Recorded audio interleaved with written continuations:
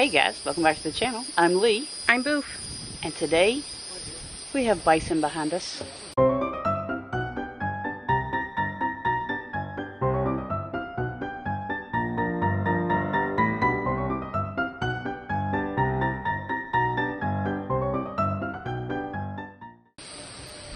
don't know if you can see them. Where are they? Right over there. Today we went to Prairie, Hmm, Paynes Prairie Haynes Prairie. National Preserve. It is an absolute beautiful place and we're going to enclose some photos of everything that we've saw. It has been amazing so far. And we've only been here like 20 minutes. we first walked out to the observation tower to get some views around of the prairie and now we're gonna walk a couple of trails and see what kind of photos we can find. But we wanted to take you along with us. So come along and while you're looking at our beautiful slideshow, we'd like to tell you the story of our day. It started out, first of all, this trip was supposed to happen on what, Monday? Monday. It's Friday. One thing after another between Kitsy being sick and us needing to do some stuff around the house. And then the weather, we've put off the trip until today, but man, the weather's perfect for it. It's amazing out here. So as you check out our slideshow, hear all about our trials and tribulations.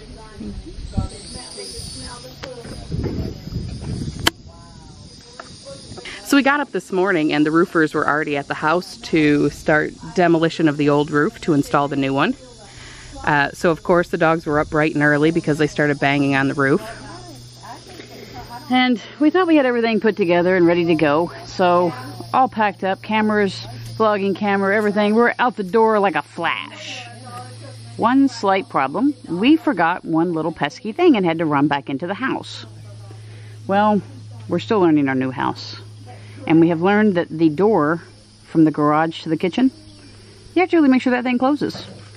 So it turned out that we weren't the only things running out the door this morning. All of the dogs decided they were going to do the same. Thanks to my wife's quick feet, she was able to snatch up our Maggie, who is the darter of the group. Mind you, in order to do this, I had to drive down the road with both doors on the truck open, trying to lure her. While I, at home, snatched up Kitsy and Scruffy, who were lingering in the front yard because that was whole new territory for them and they wanted to inspect that before going on beyond that. Thankfully, neither one of the cats got out. Happy to report. And we were able to get on the road only a few minutes behind schedule. Took us about two hours to get here from where we're at. Mm-hmm. But a beautiful drive here, a really beautiful drive, minus the accident on the interstate that brought it down to one lane and we had the detour. We just off-roaded it. It was worth it. so we're going to stop and eat some lunch here in a little bit and we'll check back in with you and let you know what we found. Okay, so we weren't going to vlog while we were walking, but we are at the Sweetwater Animal Preserve or Nature Preserve, and we're stopped We did at, switch places. We did, and we stopped at this little place, uh, this little pavilion to sit at and look in the water at what is currently stalking us. He keeps getting closer and closer and closer to us. He started out on the other side. Now he's not a big guy. He's probably, I don't know what do Three you think? maybe. two or three feet. He's little, And he's about, I'd say, 10, 15 feet away from us right now. about 10. Look at him. He's just like, I am about to eat you and you don't even know it. He's like, I'm a ninja.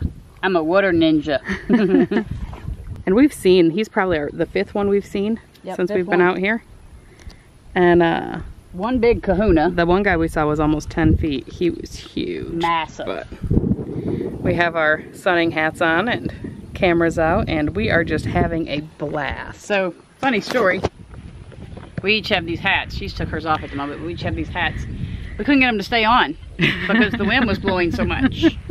So, thanks to our handy dandy breeches, it's funny, but we each wore a pair of pants that have tied uh, strings around the waist. so uh, we just worked it through the hat. And keep Voila. the hats from blowing off. It was kind of ingenious, if I do say so myself. It was very, very ingenious. It was props to her on the thinking of that idea. And this guy, he's still, He's stalking us. guys. He's like, dudes, y'all just don't even know. I'm hungry and you look like you taste like chicken. Still out at the Sweetwater Nature Preserve, wild horses. What? Don't do it. Think I can grab him? No, I think we should leave him alone. Maybe if we just walk away, he won't do it. You got, you got so much to live for, little buddy. Yeah, he won't survive that fall. Don't do it. Oh! Probably just stunned for a minute. I'm hoping so. Poor little guy. kind of like yelling. So guys, we've seen seven alligators, wild horses, an assortment of birds, Bison. turtles, bison. Mm. One turtle committed suicide potentially. Ooh. We hope not. We're gonna say no. We're gonna say no for the sake of him. We're gonna say no. This is my red. it's- This is my redneck look. Non-redneck look. Redneck look. Non-redneck. look. Sorry. And guys, thanks so much for coming along with us. Hope you've enjoyed the slideshow. We have had fun bringing it to you, and it's been nice just to get out of the house for a change. We've been working so much on the house, it feels good to get out in this beautiful weather. Redneck! Props for our $2.99 IKEA hats. Hello. and our nifty straps that we pulled from our pants. Free ties. Guys, we'll catch you guys on Wednesday. Thanks, everybody. She just smacked my hat. Bye. You're gonna toodles?